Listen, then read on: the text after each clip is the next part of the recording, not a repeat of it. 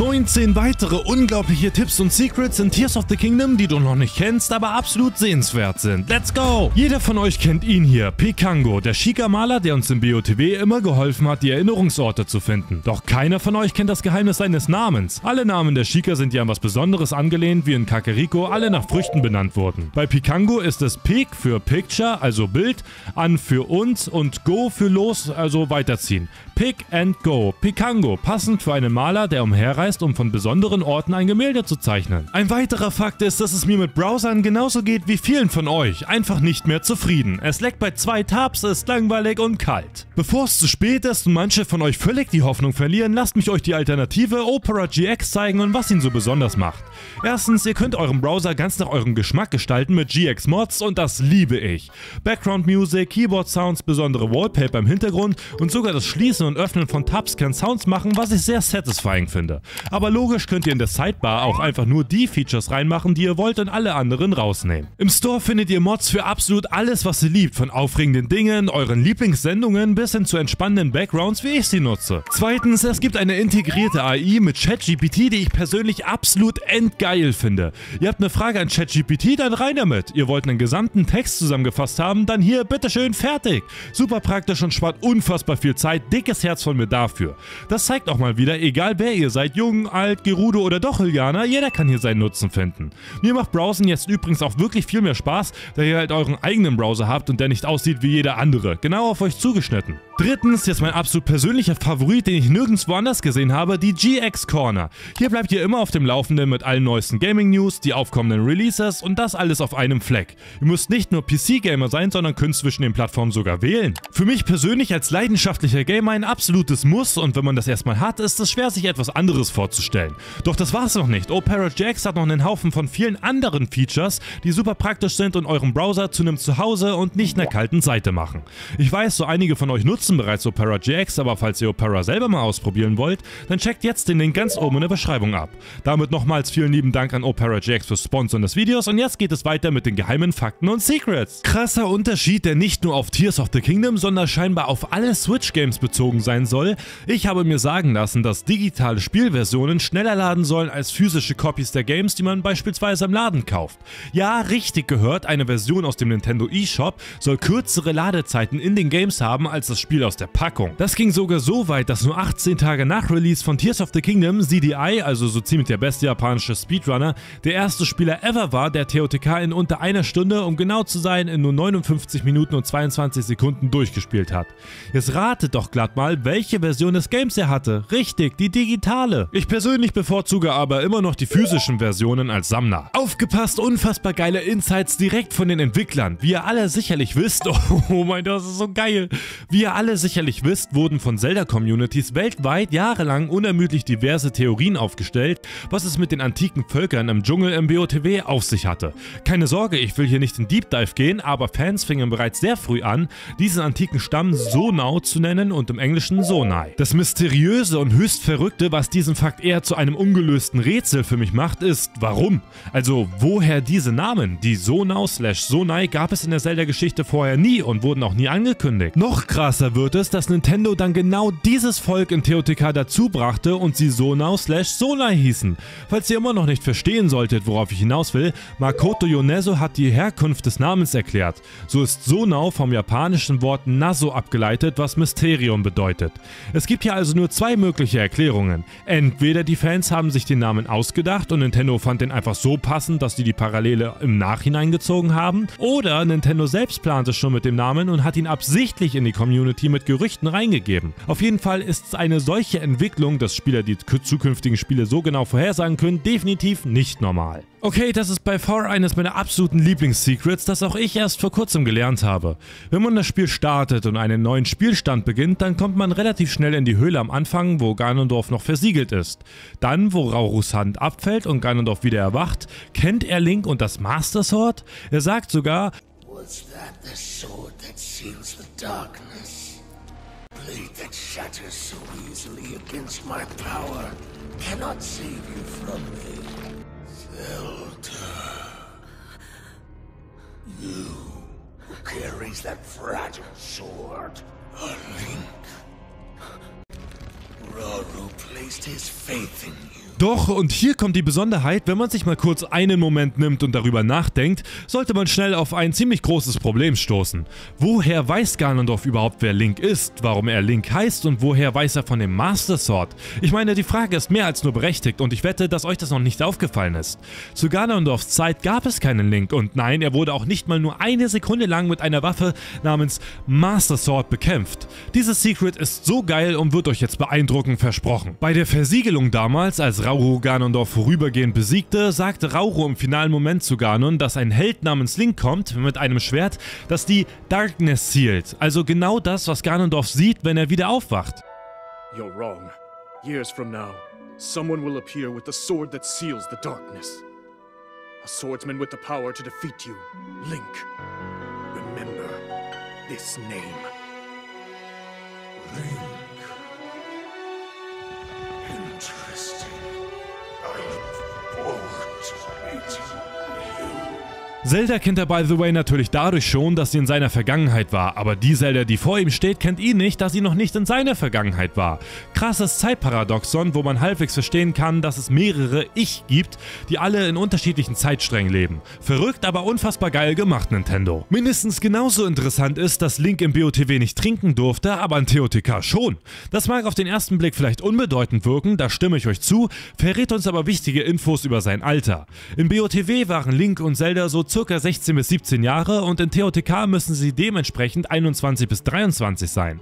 Das passt zum einen, wenn man sich anschaut, dass sie jetzt alt genug sind, um trinken zu können und früher nicht. Des Weiteren wird diese Annahme dadurch massiv noch gestützt, wenn man sich andere Charaktere wie Tulin und die Kinder in Kakariko anguckt und mal schätzt, wie viel älter sie jetzt sind. Jetzt werden sich manche von euch fragen, warum Link und Zelda nicht auch 18 sein können. Ihr müsst wissen, dass die Zelda-Reihe hauptsächlich in erster Linie ein japanisches Spiel ist und in Japan gilt man erst mit 20 als erwachsen und ist erlaubt zu trinken. Anhand aller Charaktere kann man also relativ sicher vermuten, dass about 5 Jahre zwischen den Spielen vergangen sind. Und äh, by the way, Link hat sogar das Rezept für den Cocktail bekommen, also gönn mal Link, will auch. Ziemlich lustig, aber super selten gesehen, da die meisten Spieler gar nicht erst in eine solche Situation kommen. Man kann direkt unter der Schnauze von Exalfas stehen und sie merken einen nicht. Weil sie so eine lange Schnauze haben und die Augen nicht vorne sind, also so eher so seitlich am Kopf, ist das ihr blinder Fleck, I guess. Passt aber auch irgendwie zu unseren doofen Freunden. Zumindest würde ich das gerne sagen, aber in TOTK klappt das aus unerklärlichen Gründen nicht mehr und ich habe keine Ahnung, warum in aller Welt Nintendo sowas patchen würde. Denn es macht das Spiel nicht verbuggt, verschlechtert auch nicht das Spielerlebnis des Spielers und der Körperbau der Exalfos hat sie erst recht nicht geändert. Um das Mobbing dieser Viecher auf eine neue Stufe zu heben, was ich eigentlich schon eher putzig finde, während die normalen Exalfos euch mit ihrer Zunge angreifen, die auch durchaus viel Schaden macht, versuchen ihre knochigen Counterparts es leider vergeblich. Sie machen zwar die gleiche Bewegung, aber irgendwie kommt aus dem Mund nichts raus. Ach, doch, Link, leider schon. Hergehört, Freunde, hier kommt ein geheimer Fakt, von dem Nintendo uns Spieler nie etwas gesagt hat, aber mega interessant ist. Nicht nur habe ich euch vor kurzer Zeit schon berichtet, dass man in den Codes des Spiels Sonanium-Barren finden kann, sondern jetzt kam sogar noch heraus, dass etwas mit unseren aktuellen Energiesphären der Sonau überhaupt nicht stimmt. Schaut am besten her und überzeugt euch selbst. Der Sonau-Kristall hat in den Codes die Beschreibung Energy Material 1. Der große Sonau-Kristall hat die Beschreibung Energy Material 3 und der riesige Kristall hat die Beschreibung Energy Material 4. Ihr werdet euch bestimmt fragen wollen, äh, Zelda-Meister, wo ist denn da der zweite? Genau das ist ja das Komische daran, der scheint zu fehlen. Egal wie tief man auch in den Codes zu suchen scheint, die gibt es nicht. Jetzt kann man natürlich sagen, dass Nintendo die einfach 1, 3 und 4 genannt hat, aber dafür haben sie wirklich überhaupt keinen Grund, es sei denn, sie wollen sich selber verwirren. Die allgemeine Vermutung bei den Leuten, die sich tiefer mit der Materie beschäftigt haben, ist, dass es ursprünglich vier Kristalle geben sollte, aber der zweite wieder rausgenommen wurde, weil der bei den Game-Testern dann als unnötig rauskam. Was meint ihr? Wenn ihr auch in Zukunft keine Videos mehr verpassen wollt, dann lasst doch gerne ein kostenloses Abo da und helft unserer Community auf die magische Grenze der 100.000 Abos zu kommen. Sollte es euch dann später nicht mehr gefallen, dann könnt ihr es jederzeit wieder rausnehmen. Kuss, danke Freunde. Hier einer der besten Insights der gesamten Zelda-Geschichte. Ernst gemeinte Frage, also Ohren auf. Hör, hör, sag mal, hör auf so halb eingeschlafen auf den Screen zu gucken. Ja, du, der mich gerade so komisch anguckt, hör zu und beantworte die Frage. Hast du dich schon einmal gefragt, warum überall Krogsamen rumliegen? Nee, also ernsthaft, ich weiß, die Frage klingt blöd, vor allem weil die faktisch gesehen pure Kacke sind und es dadurch nur Sinn ergibt, dass die Samen überall rumliegen, aber ist das nicht merkwürdig? Hast du dich nie gefragt, warum die Crocs so wild darauf sind, sich überall zu verstecken und das immer einzeln und nie in Gruppen außerhalb des Waldes? Die Antwort auf diese Frage ist so exotisch und eigenartig, dass ich es keinem von euch übel nehme, wenn ihr sie nicht kennt, aber dann solltet ihr jetzt besonders zuhören. Die Samen selbst haben die Crocs meines Wissens nach aus Maronus Rasseln geklaut, verschleppt und jetzt versteckt. Um den Hintergrund auch nur halbwegs zu verstehen, müssen wir in das alte Zeitalter der großen See reisen und die Crocs in Wind Waker besuchen. Hier gab es ein jährliches Fest, wo der Dekobaum Samen legte und die Crocs die Samen in alle Ferne trugen, um wieder Bäume und Wälder zu pflanzen. Denn ja, aufgrund der vielen Wassermassen gab es ironischerweise nur sehr wenige Pflanzen. Diesem Akt haben wir es wahrscheinlich auch zu verdanken, dass wir heute in Tears of the Kingdom wieder so viel Grün erleben dürfen.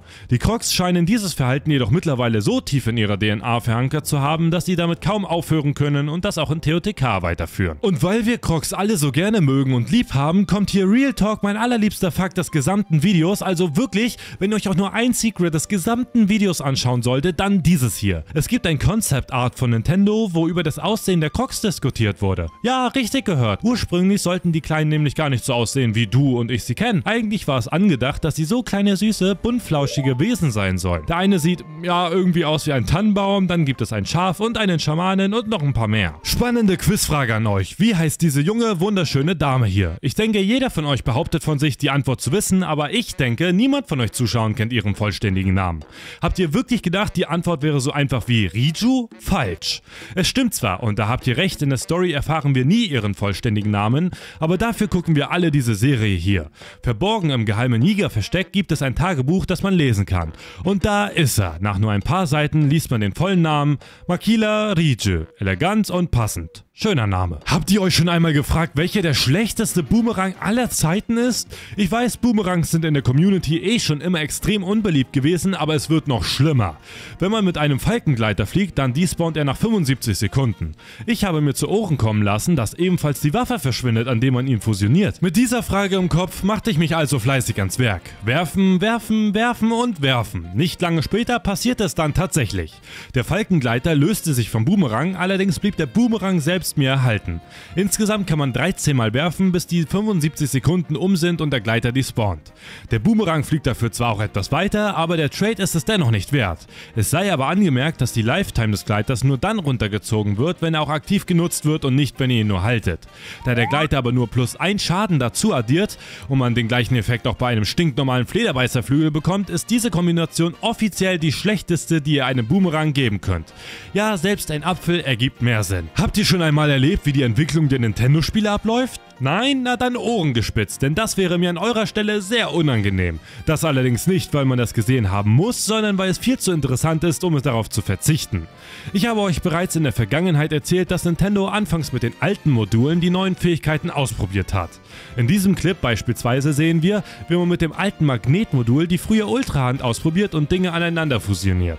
Was hier eindeutig auffällt, ist, dass es gar nicht diesen grünen Schleim zwischen den zusammengeklebten Teilen gibt. Das hat Artentwickler Satoru Takizawa gestört und fügte die grüne Masse als Feedbackgeber hinzu, da es so einfacher fällt zu erkennen, wenn Dinge miteinander verbunden sind.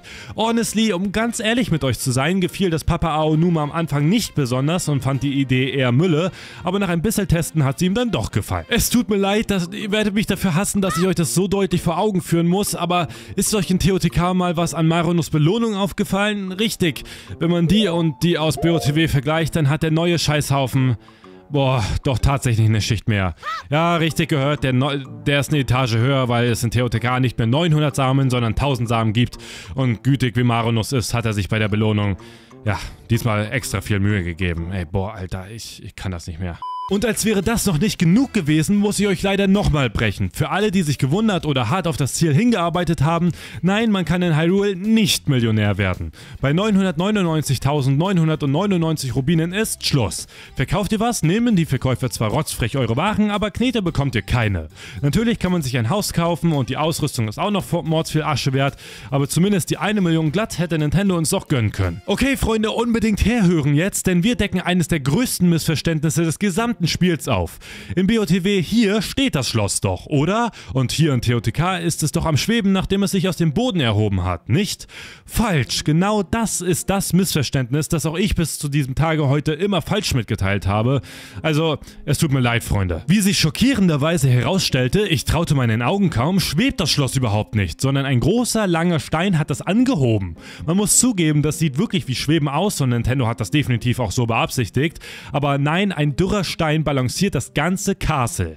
Wenn da mal ein Windstoß kommt, dann hast du das Schloss in deinem Vorgarten. Und für die wenigen von euch, die immer noch misstrauisch sind, jupp, der Stein ist mit dem Boden verbunden. Hier ein spannender Real-Life-Fakt zu Terrytown, den jeder kennen sollte. Taburasa im englischen Terrytown ist nach Terrytown in New York City benannt. Glaubt ihr mir nicht? Schaut selbst! Wenn man sich die Karte von New York City anguckt, dann findet man Terrytown direkt neben dem Hudson River und jetzt ratet mal, wie dumm's da auf Englisch heißt. Jeder, der Hudson gesagt hat, ding ding ding, 100 Punkte. Wenn ihr das schon cool findet, dann freut euch mal auf den Rest der Serie, denn da discovern wir noch viele, oh, aber wirklich viele weitere Secrets, durch die wir erfahren, wieso Dinge in Hyrule heißen, wie sie heißen. Und hier zum Abschluss noch eine der wildesten Theorien, die die weltweite Zelda-Community jetzt schon seit geraumer Zeit aktiv verfolgt.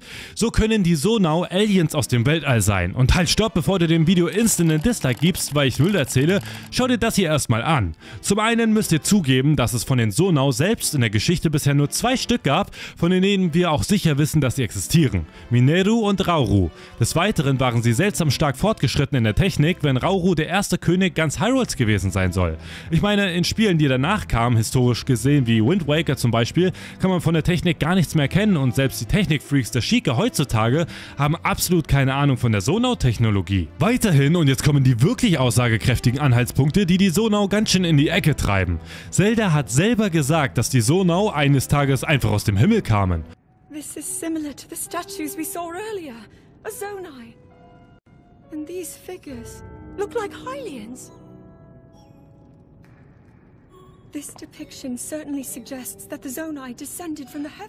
Für alle von euch, die bis hierhin immer noch nicht überzeugt waren, jetzt setze ich den Deckel auf den Topf.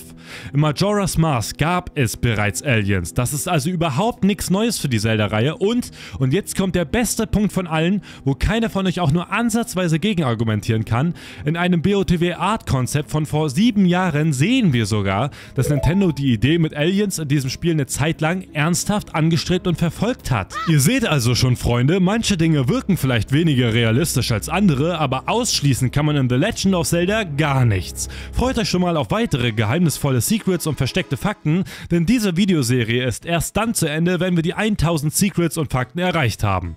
Davor ist das einzige, was wir aufgeben, einen Brief an die Post. Verlasst euch drauf. Damit nochmals vielen lieben Dank an Opera GX fürs Sponsoren des Videos. Ich persönlich feiere den Browser enorm, also ladet ihn per ersten Link in der Beschreibung runter und probiert ihn gerne mal aus. Wenn ihr weitere, und das kann ich euch versprechen, noch viel bessere Secrets, Tricks und Random Trivia sehen wollt, dann solltet ihr euch dieses Video hier jetzt unbedingt anschauen. Denn in diesem Video zeige ich euch die brandneue, komplette vierte Staffel unserer Serie mit 100 weiteren unglaublichen Fakten, die jeder Spieler unbedingt gesehen haben sollte. Darunter wie Teile aus TOTK nach der echten Welt erfunden wurden, Beweise wie die Völker untereinander Informationen vor dem jeweils anderen geheim halten und vieles mehr. Damit vielen Dank fürs Zuschauen und ich sehe euch im nächsten Video.